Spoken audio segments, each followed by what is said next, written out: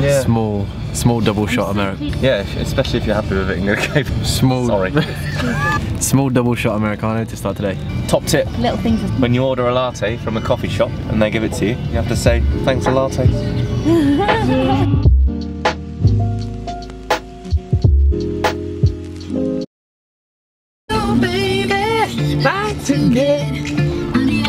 It's a good song. Who is it? Hey Siri, what's this song? I Would Like by Zara Larsson. It's like the gym's doing, it, doing its own mannequin challenge. So still. The rings, the ropes. Except for this one rebellious one that Adam has just kicked. So quiet.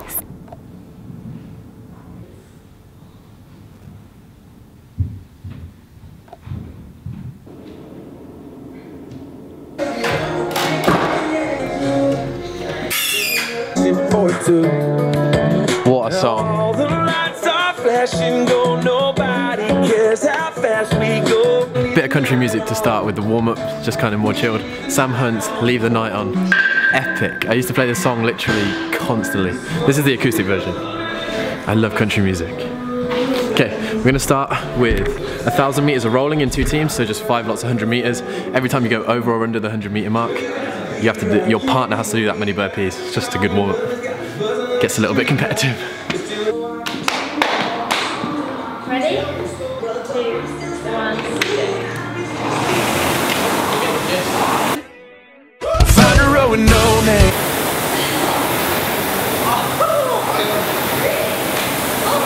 Play back in the slow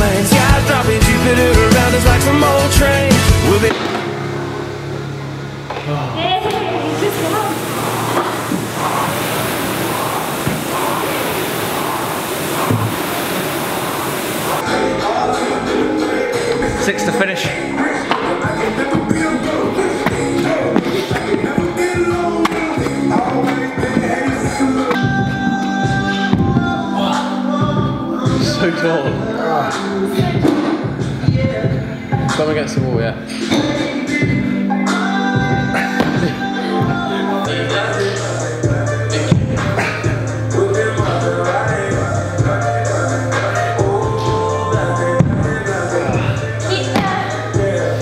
What's going on team? Craig is back with another commentary and today we're covering how to kind of get your first handstand push-up. Now, this tutorial is for people that are kind of like what you've just seen with Adam, where you're comfortable on your hands and you can lower yourself down to the floor, but you don't have the kick or power to get back up the wall. Obviously, if you're not at that point yet, build your shoulders to overhead strength with a load of dumbbell pressing, barbell pressing, and just doing handstands against the wall, getting used to being upside down. But if you are at that stage, then this will be kind of three different moves that you can include to hopefully get your first handstand push up. So we're starting off with the most demanding progression because you want to get the most out of what you're doing and you want it to be as realistic and you want to put as much stimulus through the shoulders to build the strength. So what you're seeing on the screen right now is five sets of five slow controlled negatives.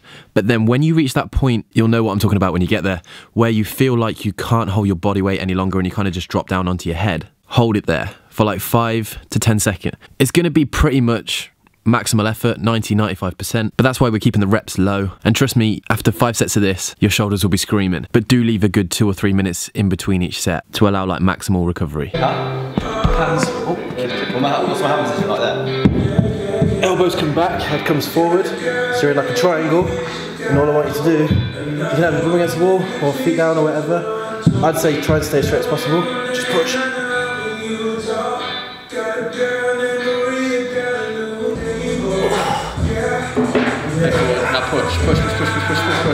Push push push push.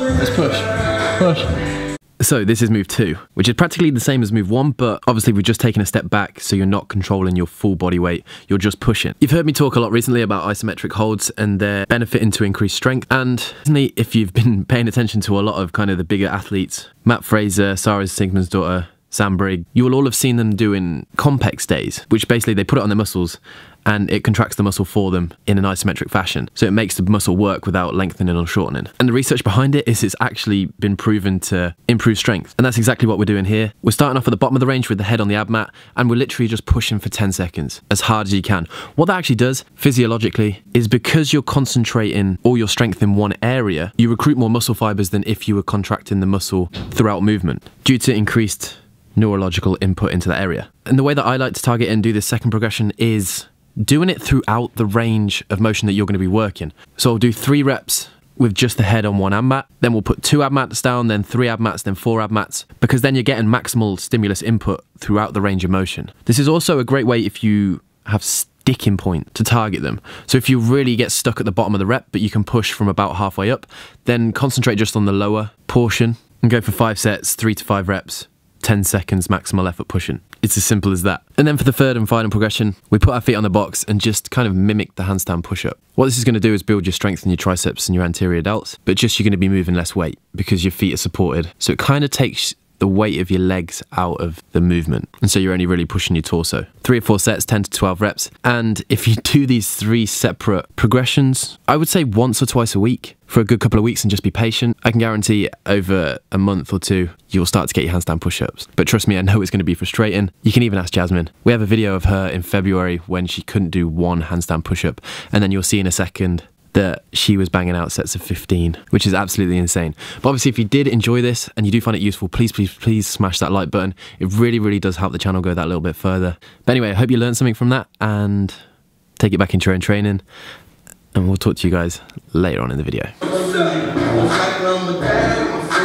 Seven, eight, nine, ten, two, one.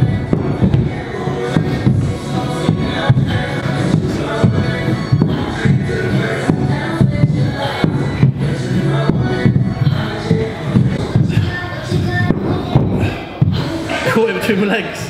Look at that. now what?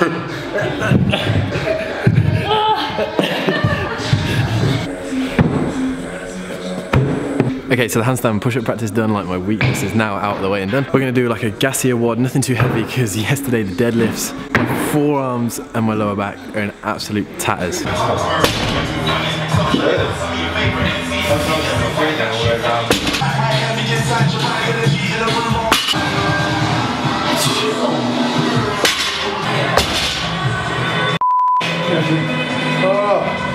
Like they're ruined.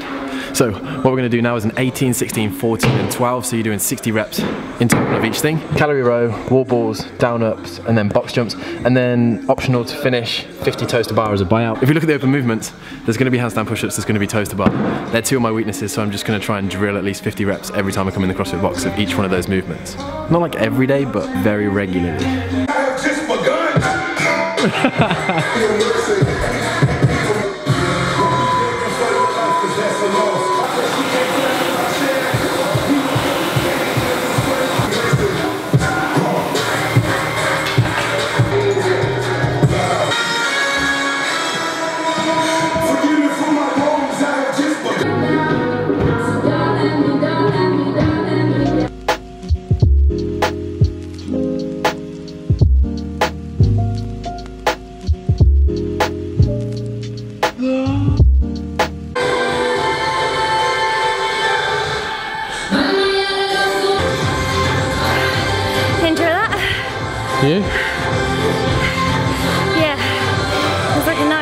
nice pain today. Like I wanted to beat it.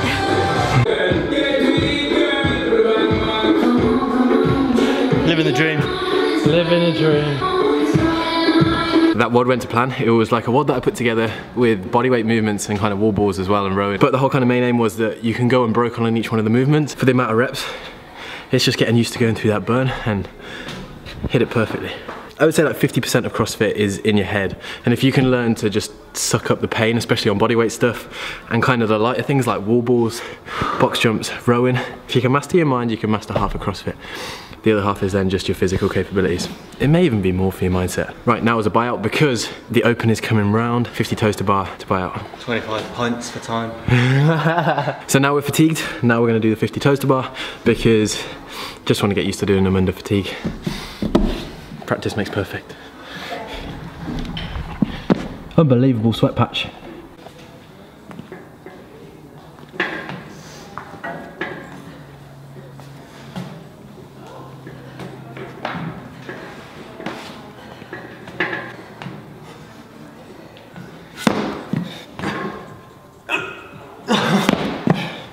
Foggy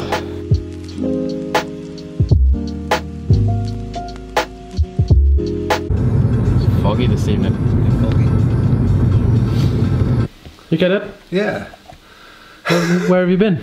I've just been for a walk, only for 57 minutes, but You power walked in the bulldog vest. yeah, a bit, bit of running. I did a little bit of running at the end. Just uh, it was tough though, running in this.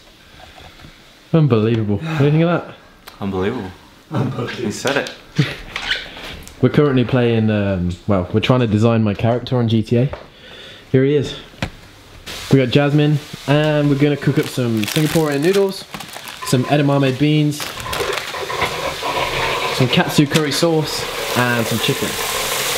That is gonna be our refuel tonight. And then tomorrow is gonna be a rest day, but we're recording the Q&A. So what is my dad doing? He just came back in wearing the bulldog vest. We were like, where have you been?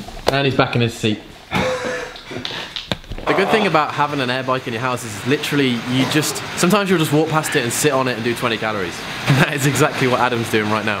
He just sat on and started moving his arms. I was like 20 calories for time. So hard.